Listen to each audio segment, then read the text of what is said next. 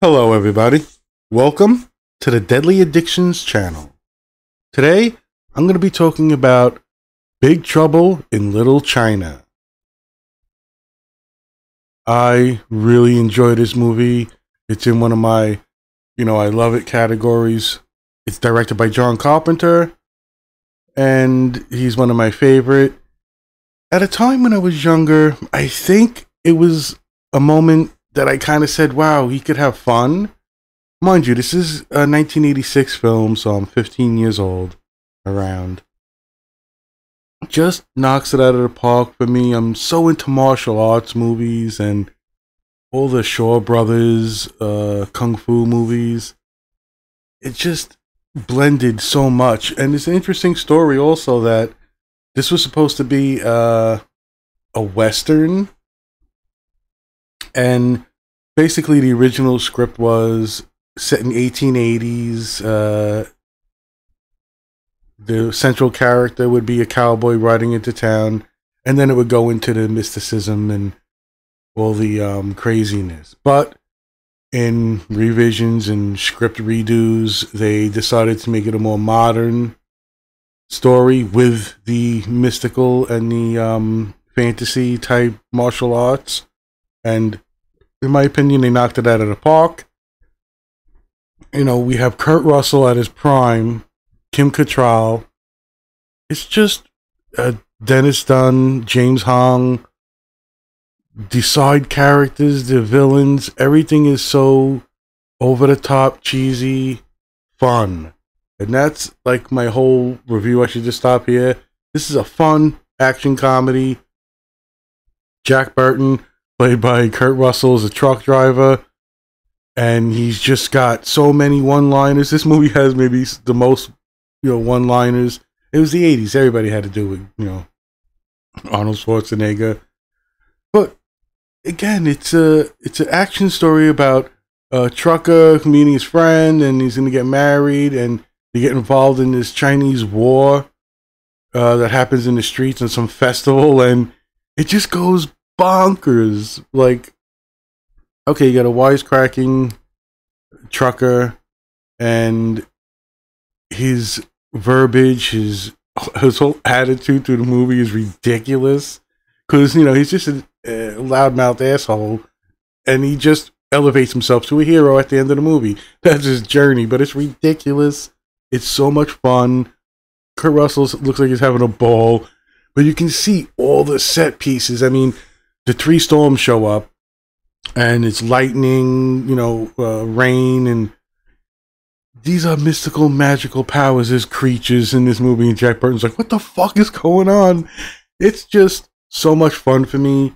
Again, I might put this in a category, you know, it's John Carpenter with sort of a budget, and it's one of the movies that disillusioned him with Hollywood, going back to more independent like film. I guess the same could be said for like a George Romero type. And it's a bomb in the box office, but it's just a cult classic now. It is from beginning to end a fun romp that just twists everything and blends everything fantasy, martial arts, mythology.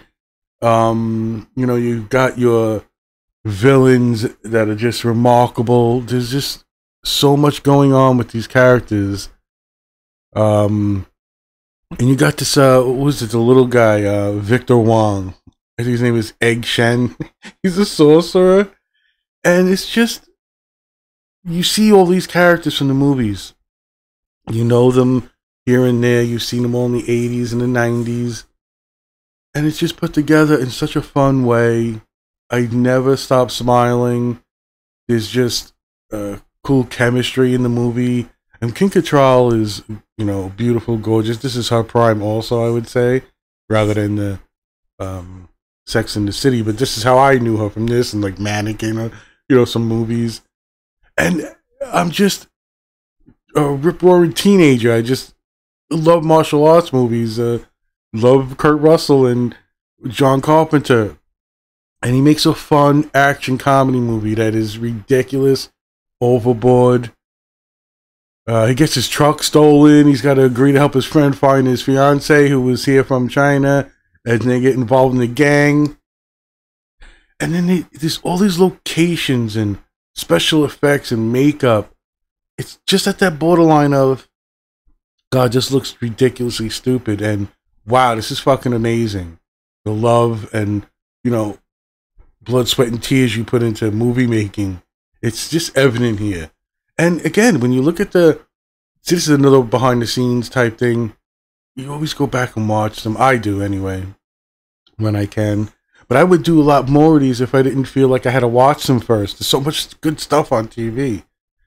And it's Kurt Russell, charming, you know, just young and vibrant, just vibrant. Just uh, they take a potion. There's so many good scenes in this movie that, for me, uh, just uh, put it over the top with just a movie you never shut off. If it comes on, you're watching it. I do get that feeling of being in that. People would look back at this or watch it and go, "You're fucking crazy." You know, this is stupid. And, yeah, yeah, you know, I get that, but sometimes I don't mind.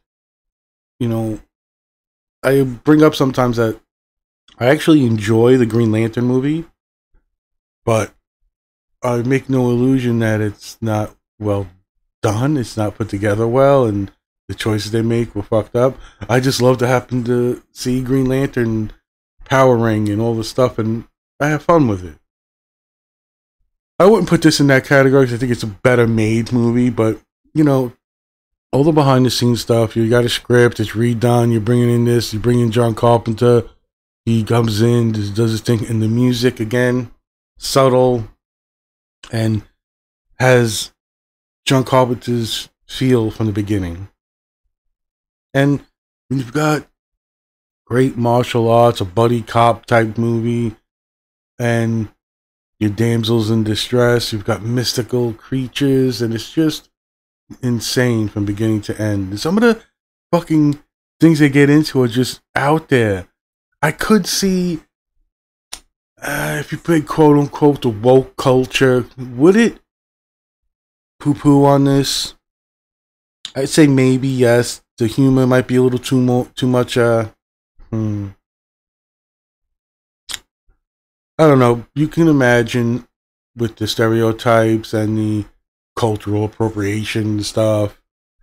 I, you know, and some of the verbiage is just uh, off the cuff, wise ass shit that might not go over well. I mean, you just take the trends, like you know, in the fifties, you know, women, guys are slapping women, and it's whatever. You know, you don't see it much no more. And you get what I'm saying. It's just we change and we evolve. Our movies change. Our you know premises of what makes up a good uh, you know, series of events on film. You know, some of our brains turned it into a TV show. I, I could see this being revamped now for like a Showtime uh, series because it has such a good way of blending in. Well, at the time, modern 1986 truck driver type thing, and blending in all the Chinese mythology, um, magic and sorcery, alchemy, um, creatures, and you just. Uh, I remember not expecting. Well, remember it's 1986, so there's not really much to go on, right? You're not going online, and you know. I remember telling a story of a friend came up to me and goes, "Hey, did you see Lethal Weapon yet?" And I was like, "What's that?" He's like, "Oh, it's a movie. It's great. You should go see it." You go see it and you're blown away. But I wasn't uh, watching trailers for it. I don't remember the buzz about it that you know let you look into things. Remember, there was nothing back then, and this is like in the same category. It's like, oh my god, what is this? Big Trouble in Little China.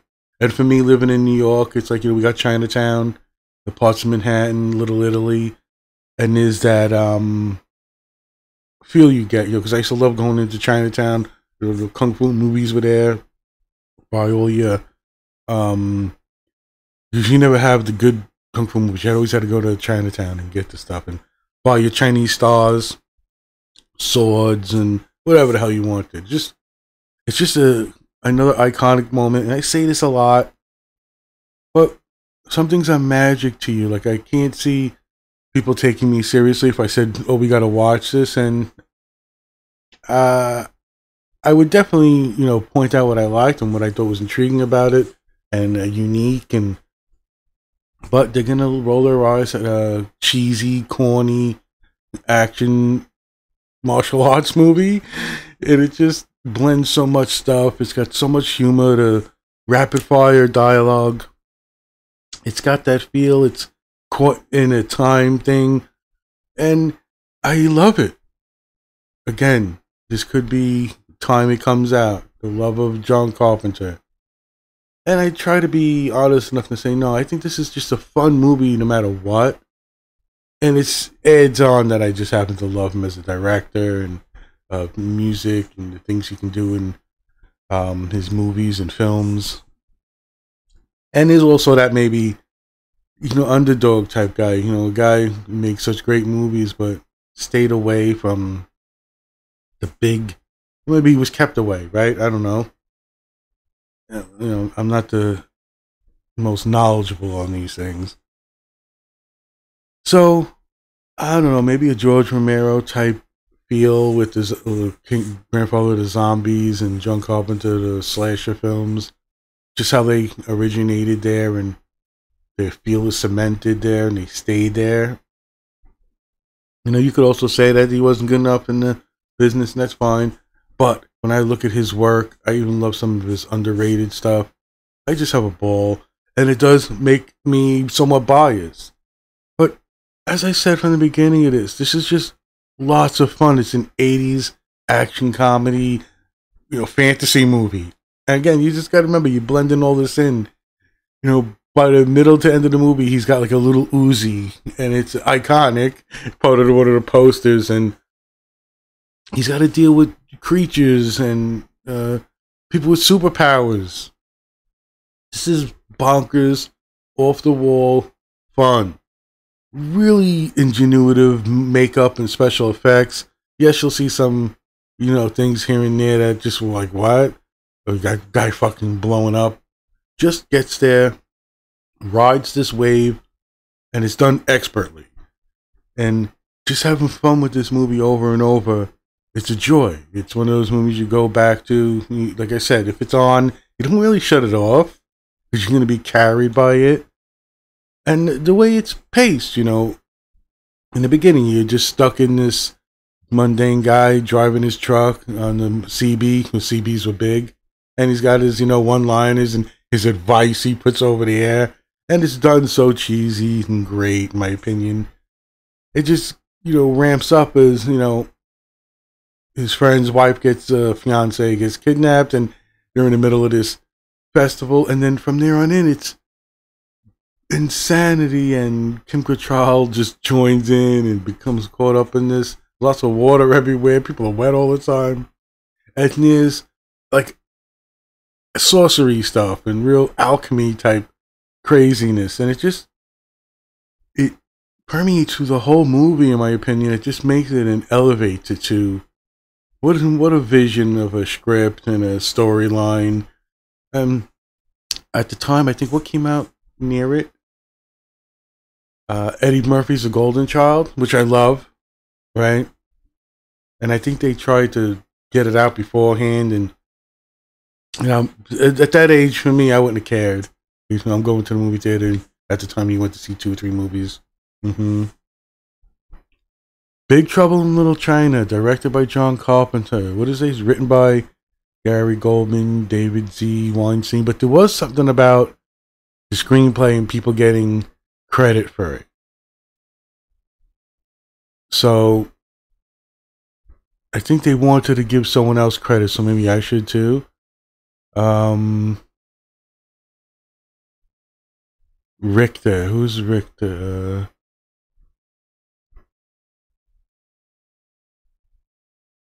W.D. Richter.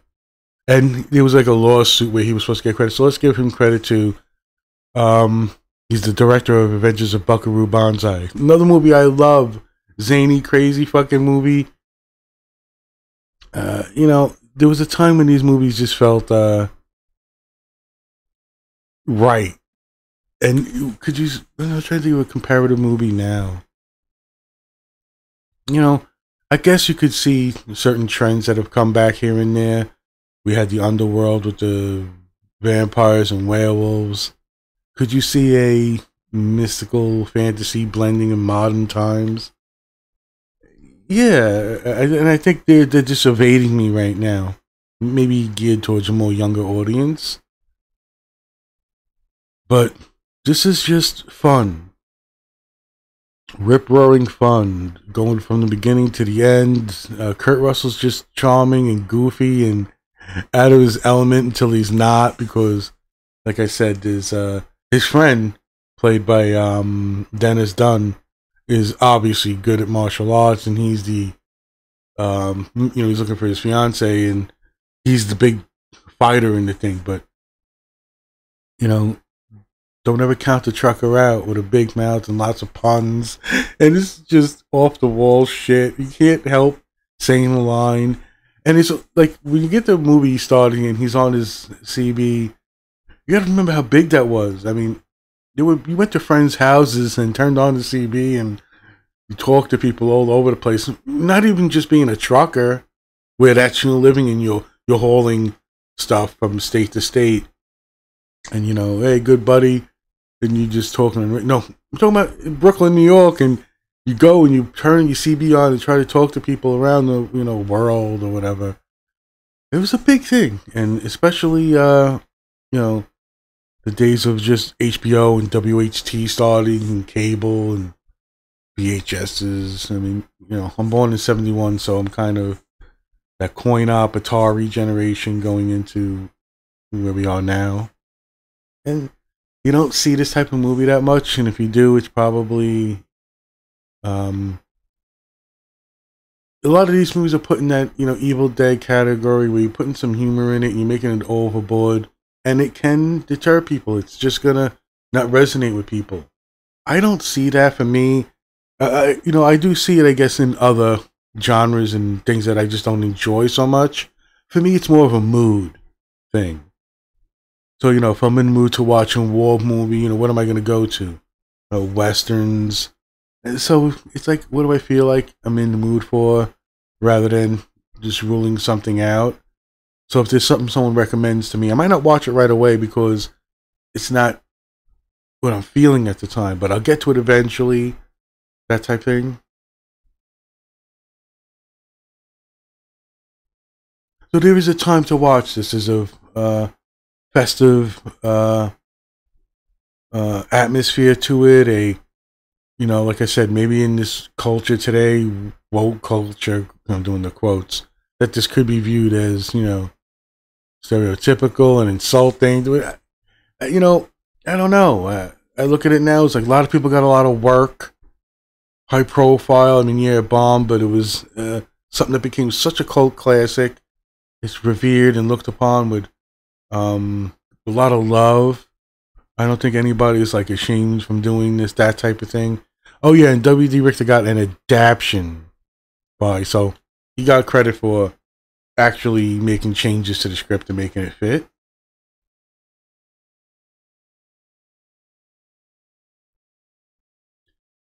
Just fun. Big Trouble in Little China. Kurt Russell, you know, Kim Cattrall are like the ones you're looking at from the poster and the name you recognize. But all these actors just fit in and for the roles they're in. You're seeing some of the martial arts people you've seen on Shaw Brothers and Ocean View, uh, whatever that those there was like two competing um, companies that were making you know loads of martial arts movies. For me, it goes back to like you know Five Deadly Venoms and 36 Chambers, all that stuff. And you see some of these actors here, you're seeing the uh, chemistry of, you know, just some fun action comedy and a little lacking these days, I think. I so enjoy the superhero movies in that sense, and it gives me a little hope when I see things like Moon Knight that just kind of, you know, blew my mind in a way, and WandaVision I could see John Carpenter's vision returning here. I mean, we still got, you know, Kurt Russell. But it's one of those things that you don't see making a continuation for. I see like a Showtime or HBO thing. You know, you do eight episodes per season and it starts around the ending of the movie, maybe. And you don't have to bring him back, but uh, you know you could. I guess you could do that for lots of his movies, like Escape from New York, Escape from L.A., and what are you gonna do next? You know, like Escape from Boston. In any case, I recommend this movie as a fun romp. 1986 fantasy martial arts comedy, directed by John Carpenter, starring Kurt Russell, Kim Cattrall. I mean, this is a lot of fun. Great actors, even the side characters and the supporting actors. It works on almost every level for me. Even the tropes and the silliness and the one-liners, and then I, it, it's funny to say one-liners because it's like fifty of them. so there's so many one-liners. That it's just and his sage advice, you know, his quirks, his quips, and it just lands for me. And I'm gonna say I bet a majority of people would like this and would really get into it. So it's a definite recommendation. I just put it in that, hey, you know, this is borderline too over the top. You know, I have a friend who um just kind of can't get into some of the over the top Quentin Tarantino stuff.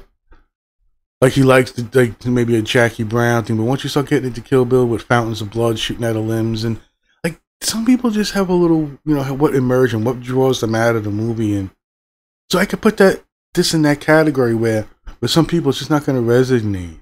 You know, it's, you know, I'm not going to get into the groove of the movie, but in in in defense of the movie, it does the right things. The music gets you in, the charm, the beauty of it, the cinematography, the way it was shot, you know, seeing all they can do, what they had at the time in 1986.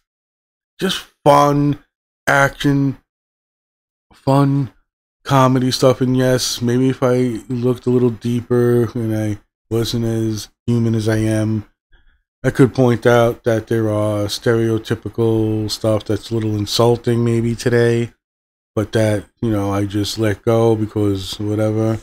And you know, having a recent watch of it, it escaped me again if it was there at all until I, you know, got my little things ready to do the podcast. Well, open up, uh, you know, the IMDb or the wiki, and you know, so I like to be honest about that, but just holy shit. And it's not to say, um, no, you know, I have a Chinese friend who loved it, but I did. Uh, and like I said, for me also, you know, a big Kung Fu Shaw Brothers fan. Uh, for the most part, there were almost all their work, and just martial arts in general. Like, just get it combined with a wise ass, wisecracking, gun shooting guy, and you know, being corny and charming and growing as a character as this, you know, loudmouth, you know, big shot guy who thinks he's a big shot and he has to learn. You know, he gets humiliated and that type thing, and all the predicaments this movie puts him in, growth and and it's just a, uh, you know, it's a joy for me, and I hope it would be for other people too. It's definitely a recommendation. Again, I just put it in that weird uh, genre where you tell somebody you're gonna go, "You're fucking crazy." This movie is bonkers. It's ridiculous. It's stupid. I'm not even. I couldn't get past the first 20 minutes. I could see this being one of those things, but again, I'll take that chance. It's a recommendation. It's a movie from my youth that I love. It resonates with me. Just all the zaniness, everything about it really just captivates me, and how they really put this, uh, you know, work into the villains and the mythology and the magic and alchemy, and it just is a real bright spot looking back on some of the movies, you know, that you, you, you go back and think on. This is not in the same category as, you know, um, Lethal Weapon, but, you know, when it comes out around the same time as The Golden Child, you can see that, which I still love The Golden Child. I watch that whenever it comes on also. I, do, maybe we should do a podcast on that. Anyway, I recommend Big Trouble in Little China, directed by John Carpenter, Kurt Russell, Kim Cattrall. Fun blending of myths and mythology, fantasy, action, modern. Just fun. A fun ride, made well. and just a joy for me. So there you go. Everybody, good movie to watch. It's an oldie, and now it's an oldie, right? Have a good time, everybody. I hope you're all doing well. I'll talk to you all next time. Bye bye.